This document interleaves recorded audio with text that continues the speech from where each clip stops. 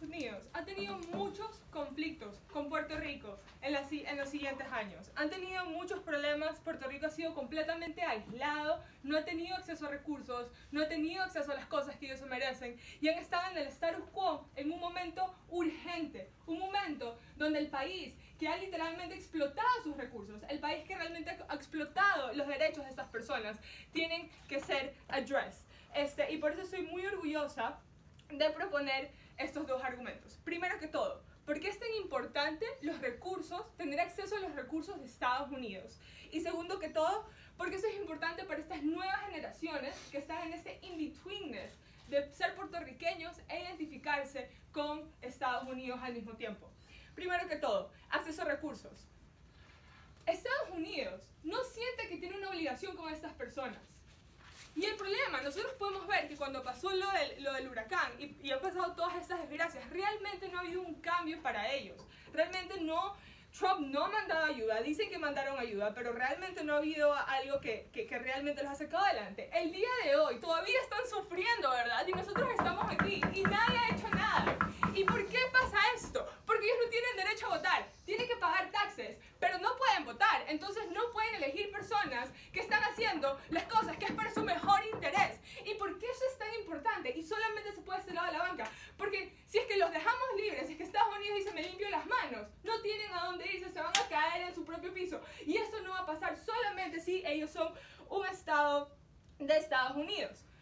Segundo que todo, eh, estas nuevas generaciones y este mixed culture, ¿qué pasa? Muchos niños han nacido en un país donde sí tienen esta residencia, esta ciudadanía de Estados Unidos, pero al mismo tiempo tienen una cultura súper fuerte, ¿no? A su país, que es Puerto Rico.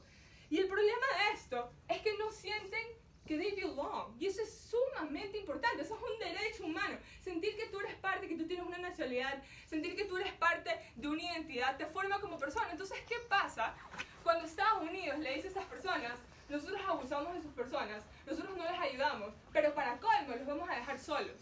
Los vamos a dejar solos. Esos niños, obviamente, muchos de ellos ya se han mudado a Estados Unidos. Como ustedes han de saber, tenemos muchos de nuestros compañeros de la universidad que han venido, que, que sienten que, ah, bueno, estamos ayudando. Entonces, ¿qué habla, hacemos con estas generaciones? ¿Y cómo les ponemos a un lado? ¿Por qué, lado, ¿Por qué el gobierno tiene que ganar? Por dos cosas. Porque Estados Unidos tiene que hacer algo que no lo va a hacer si es que no lo coge a Puerto Rico como Estado, que es ofrecerle los recursos necesarios. Y porque tenemos un derecho con esas nuevas generaciones que han estado al libre albedrío y es culpa sobre todo de este país. Por eso estoy muy orgullosa de oponer, bueno, proponer. Gracias. Uh, gracias por su. Oh, is the one minute now? No, okay. Bueno, Oh, okay. Gracias por su di- discurso y bienvenido a, a la apertura del lado de oposición.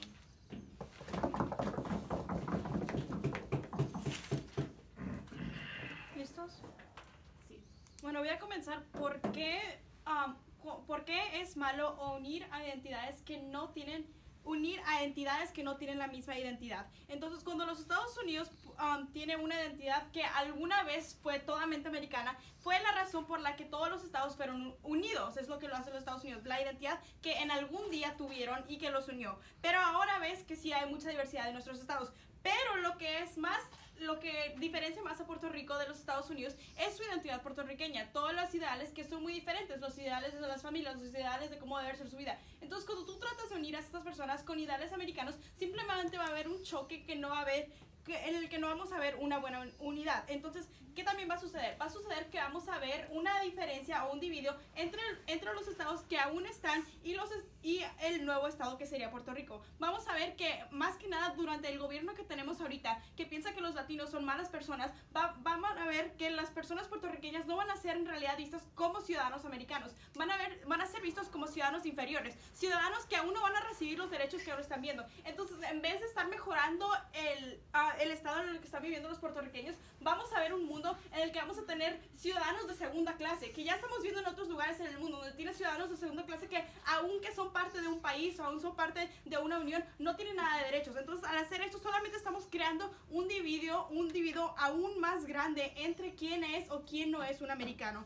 Entonces, también, al reconocer a Puerto Rico como un estado, no necesariamente estás asegurando que van a tener recursos para poder mejorarse. Estefanía te dice que que al ser, ser un estado americano, automáticamente el gobierno les va a dar todos sus recursos y va a decir, ok, aquí tienes dinero para mejorarte o aquí tienes esto para hacer un, un mejor estado. Pero no, eso simplemente no va a suceder. ¿Por qué? Porque el gobierno federal no va a tener ninguna... um, nada que lo esté obligando a ser parte, a ayudarlo con dinero. Entonces, sí, va a ser, va a ser un estado, pero no necesariamente va a estar obligado a darle mejores recursos. Entonces, porque ya aún estamos viendo que tenemos muchos estados que están en deuda y también como Puerto Rico está en deuda ahorita y sí, está horrible, pero no, así como no, no es nada especial porque estamos viendo que muchos de los estados en los Estados Unidos están en deuda y no todo el mundo puede estar ayudando a estos estados. Entonces, sí, Puerto Rico está en una muy mala posición y debemos ayudarlo, pero al, al hacerlo un estado solamente estamos creando más problema y en realidad no está, no está llegando a la raíz del problema. La mejor manera para sol- resolucionarlo es crear políticas en las que estemos más interesados en lo que ellos quieren para sí mismos, pero a la misma vez poder mantener su identidad como un territorio solo, una identidad de los que ellos pueden estar muy orgullosos de donde son, muy orgullosos de sus culturas, poder mantener todo eso y poder aún ser mejorados, porque ya hemos visto cómo está llegando la atención hacia ellos y algo debe de ser, pero no, se, no debe de ser que sea reconocido como un Estado. Gracias. Antes que empezar, pienso que es importante para describir cómo ese minuto va a funcionar. Y por eso, okay, so for this one minute, are one of them going to ask a question and then and then the other one asks, asks a question so they'll alternate? Yeah. Kind of like in PFD? Okay, great. Yeah. Do, you- do you understand that? So, No. I, Okay, so, so en el uh, PFD es un tipo de debate que ocurre es que esa persona va a empezar con las preguntas, ella solo puede preguntar una pregunta y después usted solo una pregunta y después ella solo una pregunta, okay? okay. So requiere like respeto del tiempo del otro, okay, bueno. Okay. Oh, wait, wait, sorry. When I ask the question, she answers, but it's up within one minute, so we have two minutes in total. No, you have one minute total, so keep that in mind. We got this. Okay. Wait, trade minutes. Okay. Y ambos pueden levantarse si quieren o no. Okay. Okay, vamos a empezar ah, cuando esa línea empieza con hablar.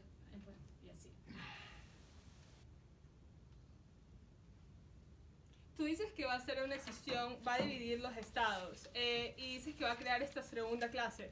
¿Tú no prefieres tener una transición de estas personas a que ellos no tengan acceso a más oportunidades y a los recursos, que no lo tuvieran si los dejamos completamente solos? No, porque te estoy diciendo que aunque tengamos un Estado, no van a tener estos recursos porque nada está asegurando que el gobierno federal le dé los recursos como un Estado. Nada asegura que un Estado tenga cierto apoyo del gobierno, del gobierno federal. El gobierno federal solamente está aquí para regular cosas como dinero regular, y regular ciertas cosas así, pero no nos, es, es como decir todos usamos dólares, pero no significa que les va a dar dinero. Ok, ¿qué asegura que el gobierno les los ponga en una mejor posición simplemente porque ahora son un Estado? Eh, si es que ellos son parte de Estados Unidos, ellos van a tener acceso a votar. Y puede ser que tú me digas que ellos de la nada no les va a mandar un bote con todos los recursos que necesitan, pero definitivamente van a tener una plataforma y legalmente una voz para hacer un cambio. Okay. Bueno.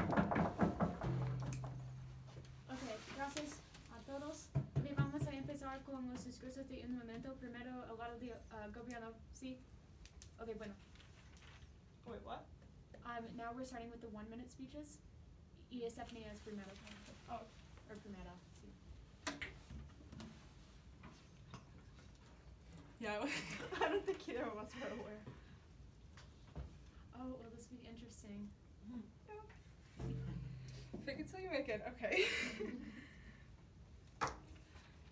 sumamente importante entender que realmente del lado de, del lado oposición no va a haber un cambio. Ella dice que nosotros lo ideal fuera ayudarlos, ¿verdad? Pero eso no pasa en el status quo. Eso no va a pasar si es que simplemente Estados Unidos decide dejarlos ir. Porque créanme, los que no están el mejor interés del país hacerlo. Pero ¿qué pasa cuando sí es parte de Estados Unidos? Y cuando sí tienen estos derechos, como los otros otros. Que ella también dice que los estados que están mal son marginados. Nada que ver, por eso está el gobierno federal para ayudarlos a salir adelante. Como por ejemplo Connecticut y otros países que están en sumamente deuda. Entonces esto sí vemos qué pasa. Entonces, ¿qué nosotros pensamos del lado gobierno? Nosotros creemos que es necesario que ellos sean parte de Estados Unidos para tener acceso a estos recursos, para tener acceso a votar, para que tener una, una oportunidad de tener una voz y de poder hacer un cambio para lo que ellos necesitan y también una responsabilidad de esta nueva generación que también ellos pueden tener parte de su identidad. Eso no se las vamos a quitar, sino los derechos humanos más básicos. Gracias. Ah, gracias por su discurso y ahora al final el discurso de la oposición.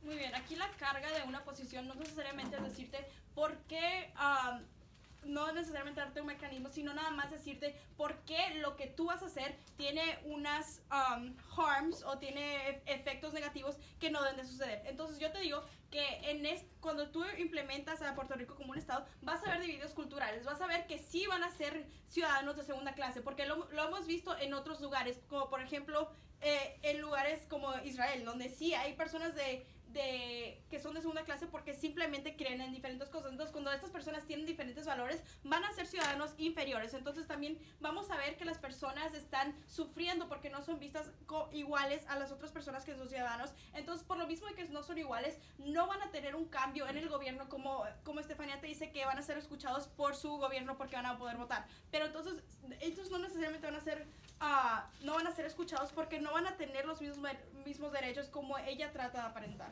Gracias. Gracias a ambos oradores. Ahora ah, los jueces van a irse y después vamos a regresar ah, con nuestra decisión. Gracias.